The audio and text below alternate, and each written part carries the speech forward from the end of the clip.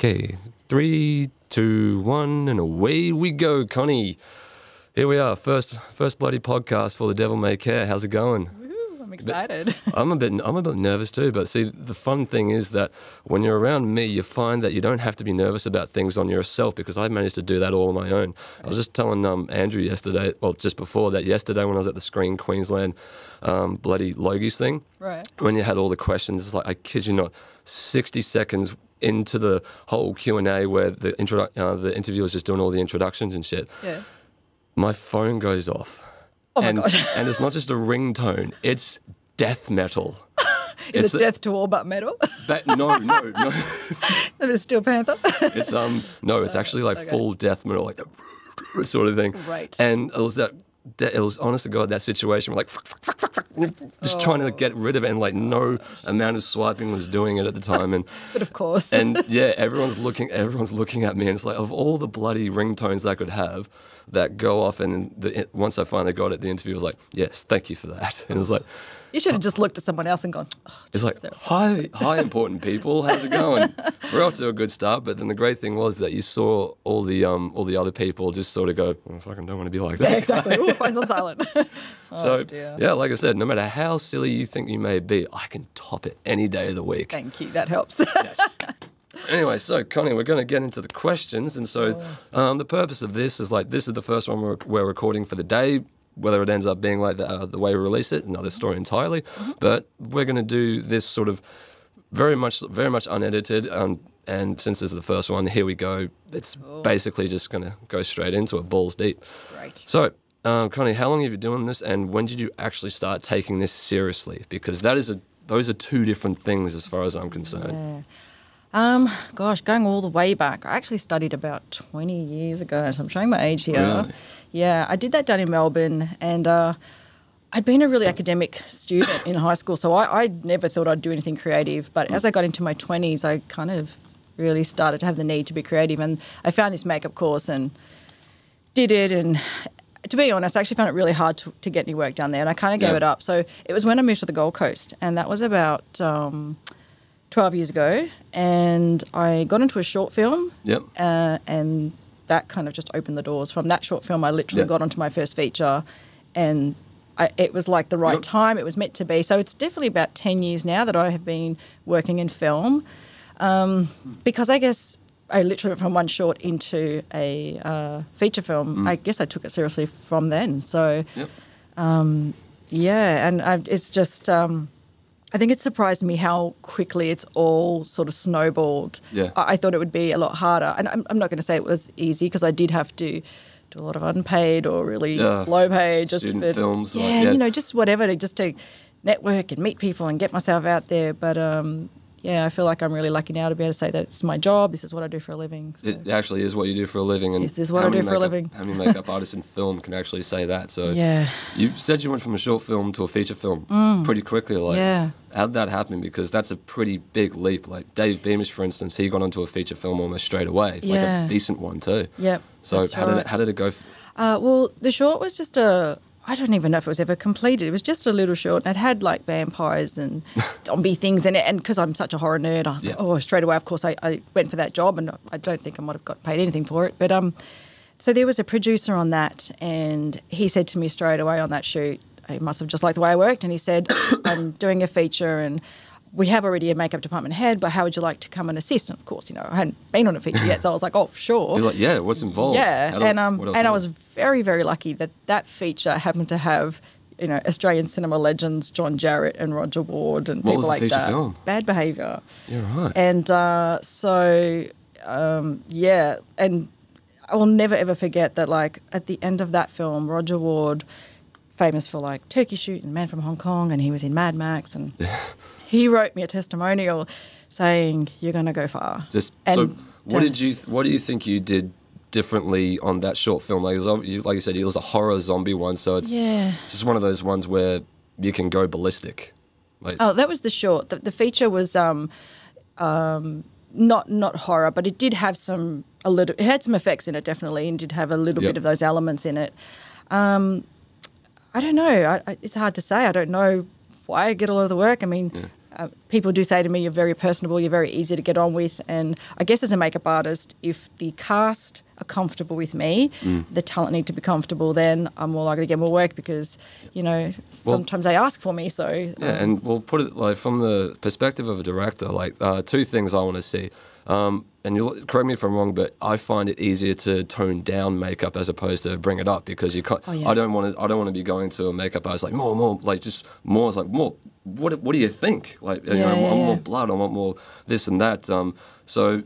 To message to makeup artists out there, as from my perspective Mm. anyway, like just whatever you think, go higher because like Yeah. we're not in like especially when short films, we're not in this business to be subtle as far as I'm concerned. We don't Yeah, have yeah. the luxury of that. I think though that isn't a thing. You need to interpret what the director Mm. wants, and um, yeah, I mean we've already had, had conversations prior. We, we had meetings, and I knew what you wanted, um, and hopefully I delivered on what you wanted. I, I have been posting them quite re- quite regularly, and when Um, I and when it comes to a, a marketing sort of strategy, I probably shouldn't have been doing that because I was revealing things, but I was just like, yeah, You know? but you've also got a lot of people really intrigued as well Yes. because they see the photos and they're like, Yes. "What? What is this? Like this looks amazing." So the, the one with Melinda was probably my Yes, favorite one, where it's, yes. um, that was where it's like, is that enough? Like no more. dump yeah, the whole yeah. bottle basically. But I find that I, again, being a horror fan, I love Mm. gore and I love horror. So I'm, uh, uh, for me, I'm a little bit cautious. I try to to tone down a little bit, and then Yeah. I'm worried I might bring too much to the table,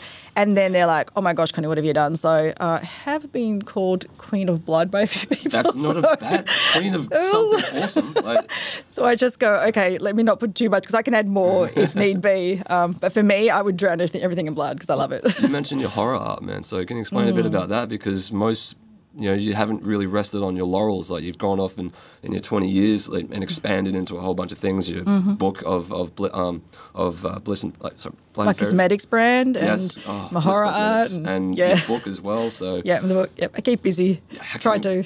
can you elaborate a bit on that? Like uh, Um, how much success or you know or just satisfaction and fulfillment have you gotten out of that? Mm. Um, the art is something that I am so in love with right now. Yeah. Um, I didn't perceive what I did completely as an art form. Yep. So I just thought, oh yeah, it's just like props for film because some sometimes I'd be asked to make a severed head or a you know a skull or whatever, yeah, you know that kind of thing. So um, because of my fixed background, of course, I can make those things, um, and people kind of expressed an interest in, oh, I'd love that in my house. And I was Yeah. like, really? Like, I hadn't seen it like that. And people were saying, oh, that's amazing artwork. And I was like, no, they're just props. They're not like, art.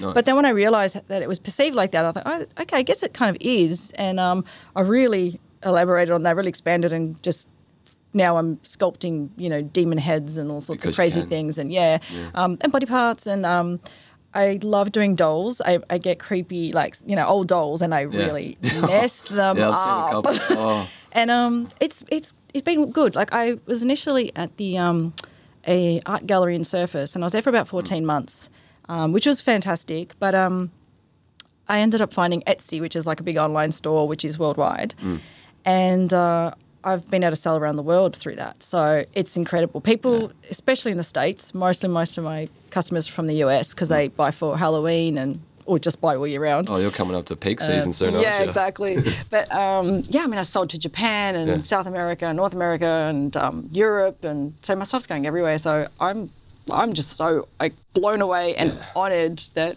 these creepy things I make end up in people's homes. and it's, it's that weird feeling. It's like, oh man, there are people just fucked up as me, aren't Yeah, there? Like, yeah. there- Like, there are people that are weird and like totally, because then people go to me, "Who wants this stuff?" I'm like, I, I don't know, like just regular folk, Like, like. people just go, well, who would want that? And it's like apparently more people than we thought. So yeah, yeah, and it's um, funny. I do get, I do get, not criticised, I guess, but judged, and people are like, "Who wants that?" And it was beautiful because that happened, and I put a voodoo type doll that I'd made. I remember that It one. sold within four Yeah. hours, and I was just like, "Yes, like, it's validation." that I'm not the only weirdo out here. I remember that one because like you, you, you kind of when you're a creative and you start and you put your stuff on, you, you kind of think it's going to take a while for it to kick on. Yeah. But um, no, it's like like you said, it sold within four hours, and it's, and you just.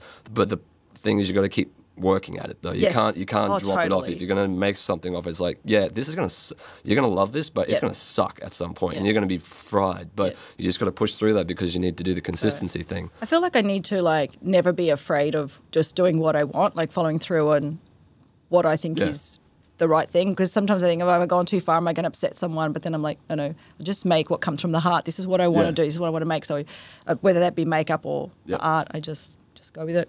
So, um, bit of a quick, bit of a change of uh, subject, mate. So, one thing I wanted to talk to you about is like we've all got our influences, both contemporary and the old school ones. So, like you've got um, uh, obviously old school Frankenstein, old school Draculas um, Yeah. that you can sort of source as well, but. Sometimes they come from unorthodox areas. Like uh, for Devil, the second part was very much based on largely the French New Wave movement of the 60s Yep. um, with uh, Jean Luc Godard's uh, Breathless and then last year Marienbad, um, mixed with a bit of Casablanca. And those are the main influences. So they can come from all walks of life. I just happened to be in them at the time. Yeah. So can you elaborate on where some of yours have come from, both when you started and Yeah, more to this, more to this day? Um, well, like you said, it does come from everywhere, really. I mean, it can be music that I've heard, it can be something I've read. can you know, like music that you've heard? Like that's Well- I, I like just to, uh, explain that because it's fun. Um, I don't know, like, well, at the moment, I'm not sure if you're familiar with a band called Ghost. Yes. Ghost, yeah. Like, Oh, yeah. um, Yeah, gosh, yeah, like, just, you know, I, I get put that on, and as I'm working, it inspires me, and I get, you know, you sort of uh, get imagery in your head, I guess. I mean, that's a very sort of strong Mm. religious Satanist, I don't know, it's a mix of everything and stuff. It's, it's just fun. It's it? yeah, it's so it's fun. Um, but you know, um, colours. I mean, I could walk down the street and see the, you know, the wet ground and Yep. the, the grey with contrast with the green leaves or something. Like literally, Mm. I'd be amazed sometimes at the things that go, oh, that, that's really cool. I wonder if I could use those colours or if, I, if I could, you know. So um, it comes from everywhere. But um, Do you take photos of everything for your inspiration I too? do, I do. Patterns, anything, like really. um, but as far as people, like I definitely am a hardcore fan of Tom Savini. Yep. Um, his work, you know, Dawn of the Dead, Day of the Dead, The Prowl. Oh my God, like That- guy's a legend. That movie, that movie changed not zombies. Like the, the remake, like well, both the original and then the remake. Like I, I don't know about anyone else, but I kind of want Zack Snyder just to make a good zombie movie again because it's like, Yes, dude, you you nailed that. You were the first one to really Yes. do the running zombies, and that changed everything. Yeah. And he does, um, well, so he came up with all these like sort of interesting ways of shooting things so that you Mm. could get a special effect. Like, how do we get, show something, you know, a big wooden stake going through a body or Yeah. whatever. Like, and he's, and he's been so lovely that he even reveals half of this stuff in books. He's written books and, Was Zack Sn- uh, uh, Tom Savini? yeah, Tom Savini. Yeah, so he's um, and I've I've really been fortunate to meet him twice now at like horror conventions over there, Yeah. um, and over in the US, and um, other the other people I really love are KNB Effects, who are Yep. sort of I think around the late '80s started up, and Mm-hmm. they've got hundreds and hundreds of films to their name, like For- for a reason. films. Yeah, absolutely. Like Greg Nicotero, and who's still like you know Walking Dead, and their work just blows my mind. There was, there was, I remember there was a New Zealand production not long ago called uh, Black Sheep, and they'll, Yep. um, I didn't. I, while I didn't watch it, I, like I caught some of the um, the documentary that they were making, and they went to the, the VFX guys and the makeup guys, and it's like we've got we've got like mutant sheep eating people. This is why we got into this Yeah. business. That's right, exactly. It's What like how far want? can we go? Doesn't Yeah. matter. And like and I can imagine there are jobs that actors where they get to stretch their craft and you know they get to really stretch a character and try something. There Yep. must be ones that you um, would take on just like, all right, what can I do? Like this is Absolutely. awesome. This is interesting. What can I do with this? And you know, like, is has there been constrictions on your creativity when it comes to what directors want? Where you're like, I know that's not right, but you have to. Um, a little bit, I guess. Um, sometimes it's the movie version of the thing. So, Yep. like for example, a bullet wound. Yep. You know, it might it doesn't necessarily look that bad in real life. It's like Yeah. a little hole. But the director's like, I'll put lots of blood and make it big and gapey, and Yeah. so that's fine. Like, I mean, you know, we are making movies. Um, but um, I think sometimes it's I, I like I said would like to go more hardcore with Yeah. the with the effect, and sometimes they're like pull back a little bit. We don't. Yeah. We don't want that much blood, or we don't want that much. Oh man, the Uh, idea, some of the ideas I've had, like imagine, you know, there's a I can't remember what the uh, the fungus name is, but it's sort of gr- it's, it gets goes in ants and then just sort of sprouts these things like uh, it's and it literally turns the ants insane. I was like, "What- what if it mute? What if somehow like a government agency mutated that to try and make a you know super film. soldier thing? and I was like, imagine someone you actually had like this big I don't know, stuff thing full of whatever, and like it's a human where it's like it's come out their eyes, like their arms, their eyes, and That's everything. and then it's like just a big circular shot around the whole thing, and all of a sudden, it's like boom, You know, because that's what happens. Like the fungus gets in, Yeah, takes like over. spores are yeah, and spores Yeah, everywhere. yeah, It's like just imagine that. Like people, you got the POV of the spores, and the people are running through the halls, going, ah. Well, I do get excited when I get handed scripts that are like full of crazy stuff. Like I did Yeah. a feature, um, I think it was about two years ago now, and lots of people were being um, um, attacked. So there's like Yeah. stabs and people shooting themselves in the head and Yeah. uh, Right, guys, we're gonna work out. beaten to out. death with a sandwich maker and all sorts of Yeah. crazy things. So um, yeah, that's really it's fun. So Like, what's next for you, fun. Connie? Um, next, I had a feature that was meant to start this week. There's unfortunately been postponed. Yep. Um, but yeah, you know, the nature of film. And then just like, Yeah. Uh, I've got a I've got a short coming up really soon that um, I need to make some really interesting prosthetics for. Yeah. Let's just say it, it involves the uh, intimate regions of a person. Yeah. so I can't I can't give away more than that for now. But it's it's the first time I'm going to be really making a man, full-on prosthetic for that area. I hope it makes makes it past the Facebook bloody uh, restrictions. And I don't know if I can post much of this. um, but yeah, so I've got I've got um, two sort of features. I'm thinking are sort of a bit further down the next few months, um, um, and uh, and a number of shorts actually. So Hmm. yeah, keeping busy. Oh, it's just, it's great when all that work stacks up. You're like, oh, like I'm so busy. Fuck, you know, how am I going to manage? But Yeah, I know, but it does it does happen that it's a lot all at once where I kind of get like Well, yeah, this that- actual week was meant to be I was contacted about four different productions to come and do four things at once, which I clearly couldn't take on four productions at once. But Yeah. and then you'll just have that month of absolutely nothing. So Yes. it's not a nine to five job. yes, But it's uh, it's it's one of the I, you, know, you can almost think of like a 12 to one job, where it's like 12 in the afternoon to one in the morning. or all night shoots. Oh, yeah, we did a few of those. I'm sorry, but Yeah. but um, there've been a, yeah, people have seen some shots and uh, they're pretty happy. So especially with the ADR and um, the great thing is like a lot of it all it all came up, especially like those extra two dead people that we have in it later on that people don't know about yet. Yes, the, the dead people. The yes. dead- the dead- Mm. And they did really good with that. Those dead people. They it's, it's it's gonna look it's looking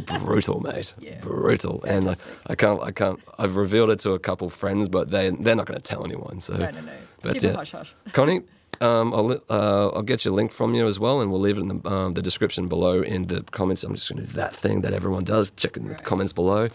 cool, Um, but yeah, pleasure having you here, mate. Thank you. It was an absolute pleasure to be here and chat to you again. Thank you. Love it. All right, cheers. Thanks, man.